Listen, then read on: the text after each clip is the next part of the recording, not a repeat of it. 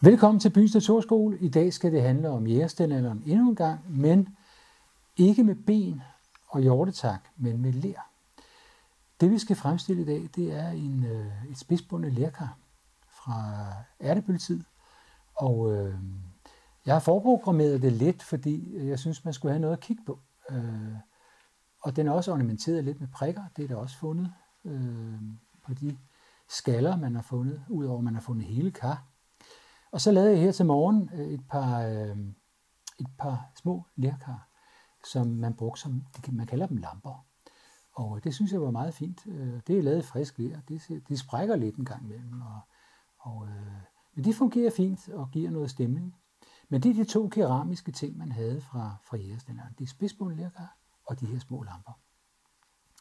Nu skal jeg lave et, øh, et spidsbundet lærkar. Og øh, det gør jeg øh, med nogle simple virkemidler. Jeg har selvfølgelig jægerstænderredskaber med her øh, til at glitte og, og samle og prikke og gøre videre skære for den sags skyld. Og nu viser jeg noget her, fordi at man skal ikke forestille sig, at det her det er specielt svært. Øh, mange formidler ting, som jeg siger, hvordan i verden skal jeg selv kunne komme i gang med det. Det her det er købt en jul til juledekorationer, koster 6 kroner, og det bliver lige pludselig til, og det ved vi jo ikke, den ved jo heller ikke selv, at der ligger et spidsbund lærkar inde i den klump der. Og så bruger jeg selvfølgelig en kniv fra jægerstenalderen til at skære den over med. Den elsker plastik. Den har aldrig vidst, den vil elske plastik, men det gør den. Det gør den nu. og så skærer jeg den over på midten her, og det er, det er jo ved at være et halvt år gammel, men det virker stadigvæk. Og så brækker jeg den en gang her. Det der er kendetegnet med de her spidsbundne lærkar, og jeg løfter den lige, så man kan se, hvorfor den er spidsbundet, så der den står fint mellem et par sten her.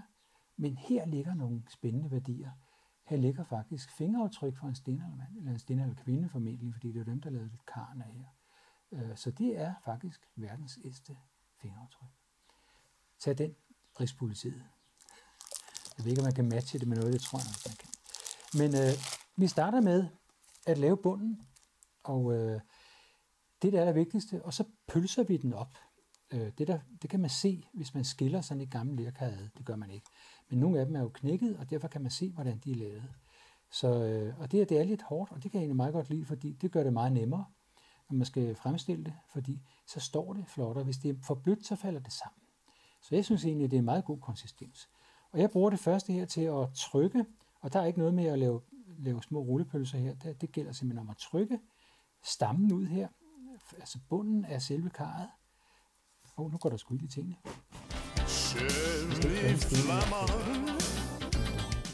Sådan der. Ja, det holder op. Der kan I bare se, hvor farligt det er at lege sten eller mand, hvis der er plastik til stedet. Den bliver ved.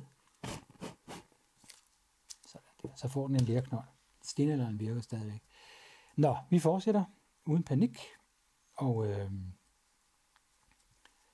nu gør jeg det, jeg trykker det her kar ud her. Sådan der. Og det er det første, man laver. Man laver bunden af karret. Og det tager sådan lige, man trykker det bare, sådan set. ud. Man bruger sådan en håndflade her og samler det i. Og, øh, og skal man sørge for, at det er rundt. Og nu begynder jeg sådan set allerede nu at gå rundt og trække bunden op her. Den er lidt tyk. Så kan jeg trække ler op her alle de steder, jeg kan mærke, at den er for tyk, så trækker jeg leret lidt opad. Sådan fungerer det. Og så bruger jeg tomtom. Læg mærke til, at jeg holder hånden sådan her. Den har ligesom formen. Og så, når bare jeg trykker lidt, så får den, bliver den langsomt rund. Det er sådan et meget godt tricks. Så lægger jeg lige en lille spids på. Det er jo spids på en lærkar. Og det er mere for sådan at vise, at det, at det var sådan, det så ud. Og det er jo, som man kan se, det, det står flot. Og man kan også stille det i sand. Fordi øh, hvis det var et fladbundet kar, så ville det vælte. Men det her, det borer sig simpelthen ned i sandet, og så står den fint der, hvis man laver en, et eller andet gryderet på stranden. Nu er det her jo en rekonstruktion, og den kommer aldrig til at koge noget som helst. Øh, men derfor kan vi jo godt gøre det rigtigt. Den ligger flot. Den ligger altid på siden, og øh, det gør den. Den triller ikke nogen steder. Den bliver der. Nu skal vi se at lave de her berømte pølser. Og øh, de, ikke, de, de skal ikke gå hele vejen rundt. Det, det, det gør man ikke. Man laver en lille bid af gangen, men øh, man ruller dem lige lidt på bordet her. Og der må godt være lidt, lidt fylde, og så drejer man den lige gang rundt her, så revner de. Nu det her ler også lidt halvtørt. Og det er, som jeg sagde før, meget godt, fordi så falder det ikke sammen. Og det trykker man simpelthen ned. Og så er det vigtigt, at man ligesom får klaret tingene indenfra her, så længe man kan komme for hånden ind i karret. For lige pludselig lukker det altså til, så man altså ikke gør mere. Så det gælder om at få, hvad skal vi sige, sat de, de små pølser, man sætter på her. Øh, det er altså vigtigt, at man får låst dem mod bunden her, og imod hinanden konstant. Nu er vi på vej opad, og så skal man huske, at øh, selve centrum ligger der. Der stopper bunden, og så går det opad og indad og udad igen med, med en lille kant der. Øh, det, er sådan, det er sådan nogle af de ting, man skal jagtage. Så øh, vi laver lige en lille kort en her. Men det er en god teknik, faktisk. Og den, her, den er jo tusse gammel. Øh, I hvert fald 7.000 år. Så den er blevet populær. Den bruger man stadigvæk, også i skolerne. Det er altid noget med at lave den der pølseteknik, hvis ikke man drejer, så er det sådan, man gør. Og det fungerer sådan set udmærket. Så det er en urgammel tradition, og det synes jeg, det er meget dansk. Man skal aldrig give op, fordi øh, det kan se håbløst ud et stykke tid, og lige pludselig så finder man ud af, hov, nu begynder der at ske noget. Og det gør der lige om lidt her. Så er vi færdige med selve bunden, altså her, hvor midten er. Og så skal vi til at snævre ind. Det spidsbund lærkar kunne, kunne variere i størrelse. Så der er ikke nogen, der siger, at det er forkert eller rigtigt. Det er efter behov. Og det er jo klart, efter øh, mange forsøg med at lave kar, så har man jo ændret efter behov. Det er jo indlysende. Hvor de fik læder fra, det er jo spændende, fordi det har nok foregået ved, ved stranden, hvor man har kunne grave det ud direkte fra klinterne. Ja. Så nu begynder vi at nærme os noget her. Det må heller ikke blive for spinkelt. Så kan man ikke modellere videre på noget, der er for tyndt, og kommer noget tykt lige pludselig, fordi man opdager, hov, jeg glemte lige noget. Den går ikke. Så man skal hellere tage lidt for meget på. Tryk det nedad og fordele det, så der er noget gods i det. Så længe skålen er åben her, så kan man arbejde med den. Så snart at man kommer op i halsen, som jeg sagde før, jamen, så kan man ikke nå ned med hænderne. Så det gælder om at få gjort det rigtigt fra starten. Nu skal vi begynde at spekulere over. Nu skal vi øh, indad. Så går jeg den i efter her. Altså alt på udsiden kan jeg jo gå efter konstant. Men det er jo sådan en rekonstruktion. Det synes jeg, det hygger mig meget med. Og det, det kræver, hvis man øh, arbejder med eksperimentel arkeologi, det betyder jo, at man ikke bare lave én ting. Det lærer man ikke noget af. Man skal lave mange af samme slags for at lære noget. Ligesom med de her små lamper her, som pludselig fik hjælp fra dinosaurer og sæbelkatte. Det er jo det, man kalder olie, og plastik er jo olieprodukt. Men øh, det er sådan, der er sådan 65 millioner års forskel. Men det kan brænde alt sammen. Nu skal vi begynde at spekulere. Nu skal vi ind af. Vi skal lige tage en runde mere, tænker jeg. Og så begynder vi at snævre ind. Og jeg synes, man i øvrigt i forhold til folkeskolerne skal øh, måske fokusere lidt mere på den danske oldtid, når man laver ting og sager. En lampe kunne det være meget sjovt at tage med hjem, og der kan man bruge sterin eller et eller andet. Man behøver ikke have en sæl liggende. Øh, og det kan da være hyggeligt at, at prøve at lave sådan en og se, hvordan det virker. Og man kan finde ud af det. Man kan lære meget af det. Det er god praktisk historieundervisning. Det kan elsker jeg i øvrigt. Teori er også godt. Man skal have noget at have det i, men øh, praksis tæller rigtig godt. Så nu kan vi se her, nu har jeg jo lavet det sådan, at man kan se, hvad man skal gøre. Man skal simpelthen ligesom trække alle de der revner ud, lukke dem, låse. Ydersiden, som sagt, er ikke så vigtigt, det kan man også gøre til sidst, men indersiden er utrolig. Men gør det alligevel, fordi lige pludselig så, så er man glemt det. Eller eller.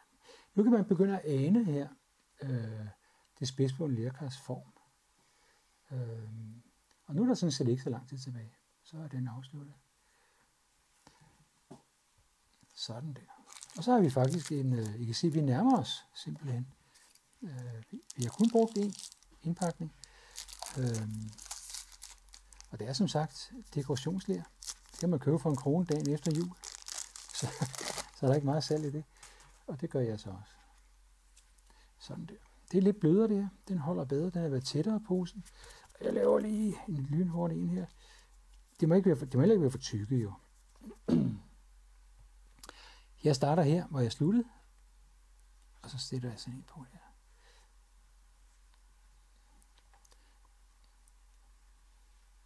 Og den er stadig lidt, lidt for tykt derude, men, men øh, der kan man ligesom se og følge øh, programmet her, og så kan man også se hernede, der mangler jeg lige at glatte lidt og lukke af for revner og sprækker. Nu har jeg lavet en her, der var lidt tyk. Den bruger jeg så at lave den højere. Så er jeg jo allerede kommet et godt stykke deroppe af ved at lave den højere. Og der er jo ingen, der, der ligesom har... Der er ikke nogen færdselslov her. Man kan jo lave dem ligesom man har lyst til. Bare målet bliver det samme. Ja, den begynder at ligne noget. Det sjove er ved at lege med eksperimentel arkeologi, det er jo netop ved at, at, øh, at give den noget bredde. Prøve at arbejde ind i en, historisk periode, og prøve at lege, man er i hjerner eller, eller, eller, eller andet, og så undersøge via praktiske forsøg. Man kan læse en frygtelig masse, og det er også godt. Skal have teorien i orden. Men praktiske forsøg, det er også godt. Det er faktisk det, man lærer mest af. Der er jo sket meget i arkeologien, siden den blev opfundet. I dag, der gør man jo tingene stærkt anderledes. Det gør man jo med alt. Øh, også med det. Og øh, det gør jo så, at, at man kan jo fra at, at konstatere den meget groft, hvad tingene bliver brugt til, begynder man nu at kigge på helt andre ting. Og det gør jo så, at vi er meget, meget klogere. Så det er jo ligesom alt muligt andet, så bliver historiske bøgerne nok skrevet om øh, løbende. Fordi vi har så mange virkemidler til at undersøge ting med. Så øh, der er ikke mange historiebøger fra, fra 20 år gamle, der holder mere. Noget af det er selvfølgelig rigtigt. Det, kan jeg ikke laves om på, men, men der er meget, der ikke helt holder stik mere. Så begynder man jo at kigge lidt på formen der, og der kan man bare bruge sin, øh, sin håndflade her til at banke den lidt på plads, så den begynder sådan at tage form. Og nu er der ikke ret meget tilbage. I kan se her, vi er nået over midten. Og nu skal vi slanke den ind, og så skal vi lave kraven på den. Og her så gør jeg jo så lige det. Det må godt se lidt stenalagt ud. Og ikke fordi man skal forklejne stenalderen. Man troede jo, det var sådan nogle primitive folk, der lå og var ved at dø sult. Det var det jo overhovedet ikke. De levede faktisk måske mere i luksus, end vi gør i dag. De spiste sundere. De havde en sund tankegang. Og så vil jeg sige omkring lampen, at der er mange mennesker, der lider af stress og vinterdepressioner. Det gjorde man ikke i stilleren, det kan jeg ikke forestille mig. Man kiggede ind i et bål eller en lampe, og så slappede man fuldstændig af. Jeg tror, jeg kunne udrydde rigtig mange psykologer. Jeg ved godt, jeg bliver uvenner med rigtig mange mennesker. Det må jeg så gøre. Ved at sidde og kigge ind i en lærlampe for jeres Jeg synes, det er hyggeligt. Det giver en god stemning, og det giver lidt varme. Og så måske sammen med sine børn bygge sådan en lampe der en gang om ugen, og så tilføre den noget sterin eller et eller andet, man nu har. Og sidde og hygge sig. Måske det mest helbredende, vi har, det er bålet. Så sådan det. Nu går jeg ind og snæver ind her. Og det er selvfølgelig, det går op og ned. Det er jo fordi, der, der er jo lagt øh, lerpølser ind forskellige steder. Nu kan jeg prøve at rette det lidt op, så vi ligesom jævner det lidt her. Og der kan vi se, hvor det går ned. Det går ned der, så laver jeg lige en lille dims der. Sådan der. Nu fokuserer jeg lige på at lave rundingen, så glatter jeg den bagefter. Fordi det, det er jo, leret er jo blødt. Det kan jeg altid gå efter. Og som sagt, så er lærkaren jo af forskellige størrelse efter behov. Og nu skal vi, så kan man gøre det, man kan lige sådan klemme den lidt der, så den kommer ind. Og det ligner noget forfærdeligt noget. Men det er lige så vi får glattet det, så bliver det pænt og nydeligt. I kan se, at den her, den så også sådan ud i går aftes kl. 11, da jeg lavede den. Øh, så det er jo fint. Så nu er vi på vej ind. Og det er jo som jeg sagt, bunden er der. Jeg laver lige snit. Der er bunden. Og der begynder den, der er bunden ligesom lagt en spidsbundet del af det. Det er nedad, og så begynder den at komme ind med lidt krave på her, lidt hals. Og så øh, skal lige glitte det her lidt, eller lige få det låst, så der sker noget. Og så, øh, så kører vi derfra. Nu er vi på vej til kraven.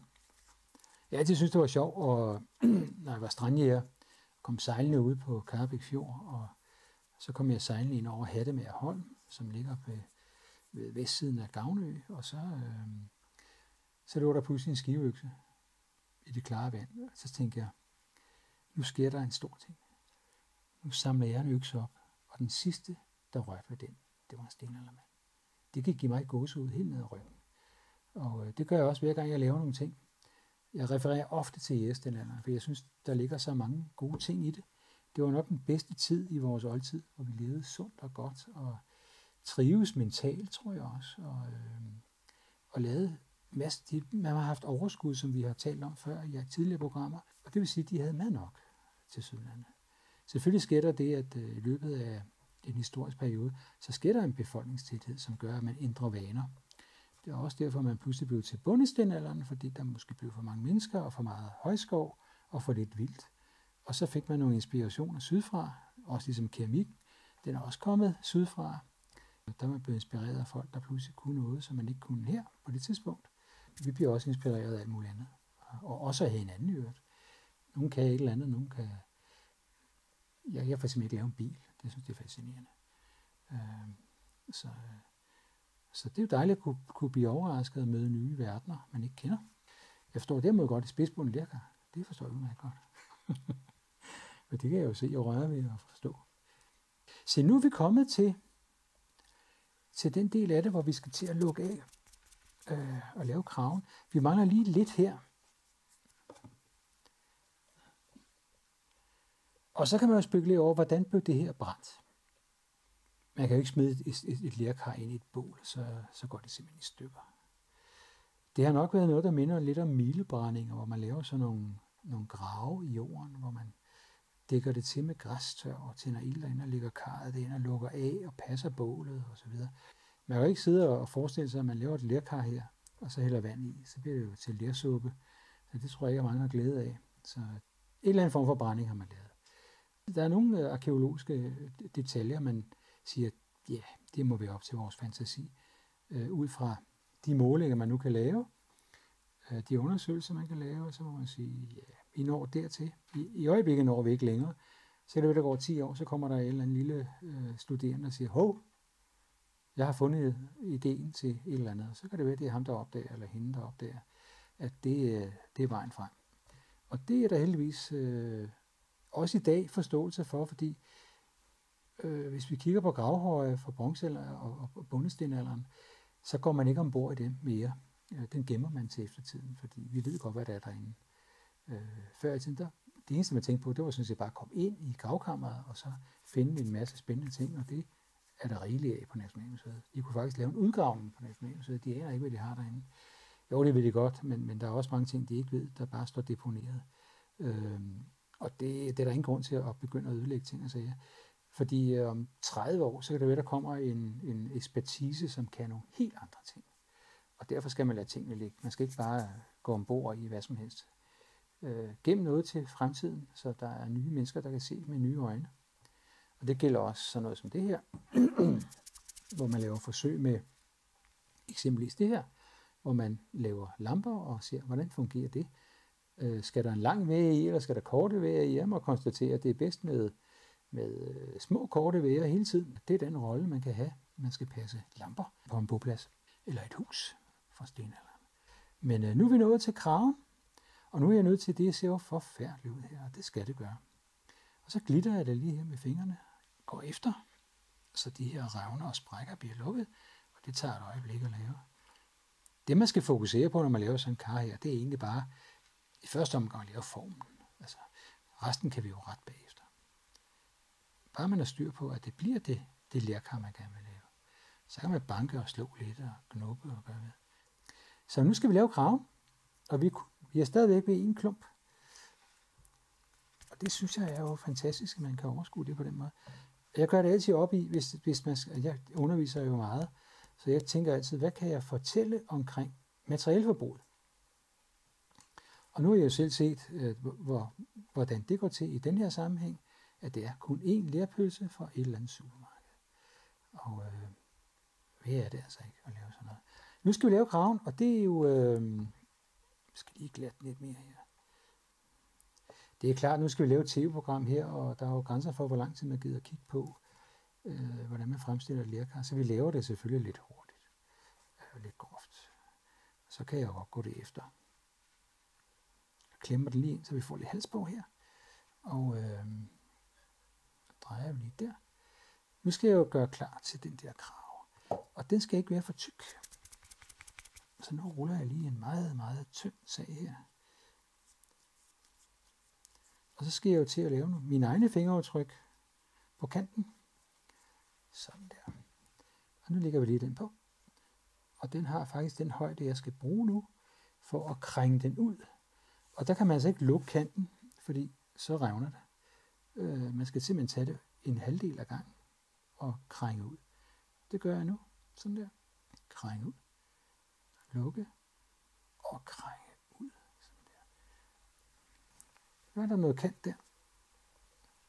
Og den skal ud på kanten der, og så skal den lige modelleres lidt. Man skal lige låse den først, ligesom alle de andre. Og så krænger man ud, og krænger ud, og krænger ud. Sådan der. Og så glatter man igen. Det kunne være en rekonstruktion til et museum, man skulle lave. Så går man det efter og ser, holder det? Er det? Lever det op til de ting, som man har undersøgt, som man har fundet? Og så kan man sige, så tror jeg, at den er der. Skal I se, at kraven kommer der. Og så mangler der noget ind på indersiden her. Igen noget med at glatte, holde øje og følge op på det, fordi som sagt, hvis man øh, kommer for langt op i halsen, så kan man ikke få hånden derned, og man kan ikke se det rigtigt. Altså, det er noget med hele tiden at sikre sig, at der er låst. Og det vi slutter af med lige om lidt her, det er fingeraftrykkene. Er nu 2021, og det er jo lidt sjovt. Nu har det jo noget, de kan matche det på. De kan finde ud af, om det er mig. Det er mine fingeraftryk. Det kan vi ikke med en stenalmand. Vi glatter lige lidt. Og så kan man lige trykke det, så hejser man den op i niveau. Og det er lidt vigtigt, de er, at de skal helst være sådan ens i højden. Det man kan gøre, man kan vente den om, simpelthen, altså lige sætte ned, og så siger ret den op sådan der. Det, gør, det er også et lille trick, man kan. Og så flader den flot ud her. Og så gør vi lige det. Nu har vi lukket kanten herop. Så skal lige sørge for, at den er derinde. Sådan der. Og vi sætter den lige ned, for at se, om den er nogenlunde lige. Jeg skal lige have et lille tryk der. Og så kan man bruge øh, sådan muligheden her, når man nu er, har vendt den om og lige ret til her. Der kan man se den på undersiden her. Og så lige trykke den til her. Så er den ved at være der. Og så kommer vi lige med fingeraftrykkene, den afsluttende fase. Det var der nemlig i de fund, man har gjort. Og så spekulerer over, hvornår skal man slutte fingertrykkene? Det er, når man møder de andre på den anden side. Meget enkelt regnestykke. Sådan der, sådan der, sådan der, og sådan der, sådan der. Trykker vi lige lidt ind der, sådan der, sådan der, sådan der. Så glatter vi lige lidt der. Og det er også noget med at gå den lidt efter, og sådan lige tjekke, om det er i orden. Altså. Trykker vi lidt. Der mangler lidt det. Ja, det var sådan set et øh, spidsbundet lærkar fra øh, sen eller ærtebøltid. Øh, når vi kommer til bundestenalderen, omkring 4.240 år tidsregning, så kommer der gang keramikken. Men det her, det er jo sådan starten på den keramiske verden i Danmark øh, i oldtiden. Så tak fordi I kiggede med, og øh, køb noget lær til jul, og gem det. Køb rigeligt, så I har noget at lege med. Og øh, jeg håber, vi ses en anden gang.